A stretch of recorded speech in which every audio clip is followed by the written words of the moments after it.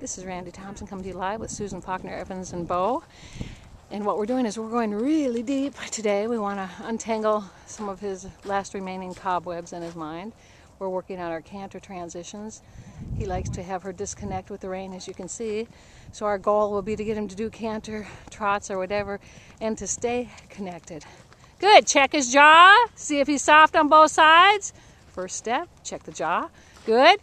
So since he had that reaction, you might have to ask lighter.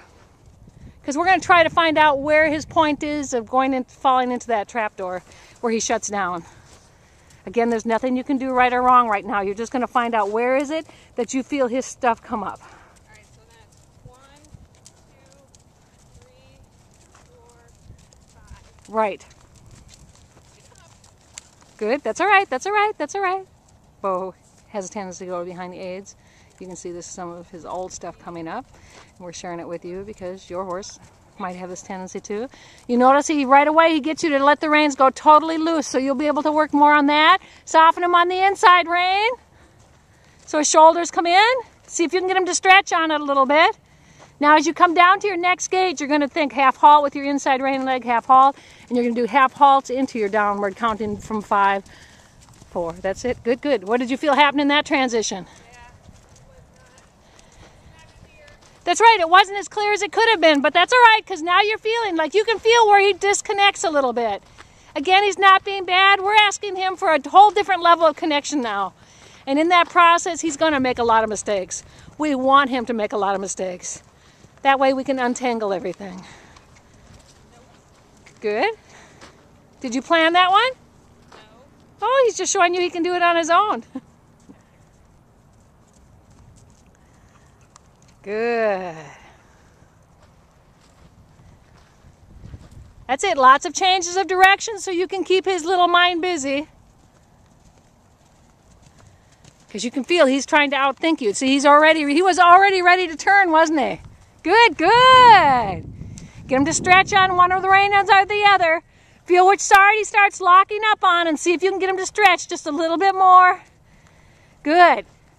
Now imagine that wave you're watching when you're watching Darian in the aqua tread. Feel like there's a wave in this canter and you'll feel the wave doesn't always go through on one side. Can you feel it? Which side does he lock up a little bit on? On your left? Probably, yeah. I don't know, you raised your left hand, you were just switching your whip. so you'll find it'll be one hand more than the other that's going to be doing it. So now just feel. Can you keep an even feel on both reins and just play with it because we're taking him back. Praise him.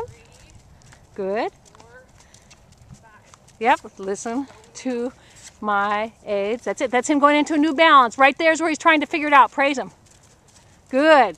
So even though he felt he was kind of in, in a not so good space, he picked you up in the right space. So he really doesn't know where he should be right now. We've changed his balance again. Every time you change a horse's balance, they go through this. Good. That was nice. How did that feel?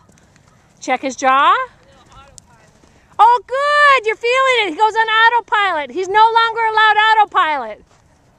That's it. So you want to check every step, like now, every other step, now, now, now. You're going to keep doing little half halts or whatever to make sure he's loose. Now, now. She's doing her half halt when his inside hind leg's off the ground. He's in a counter canter right now. Good, good. Praise him. And then when you're ready, you're going to prepare him for a trot. That's it. Keep him. Keep your leg on. That's it. You can feel he drops you out just a little bit, but that's all right. That's what you wanted to feel. It's just a second in time, but that's that's a big second. Good trot. Ask him for a little stretch. Good. How did that feel? That was good. Much better with his head. He's not dropping it down the same way like he was doing for a while. Very good, boy.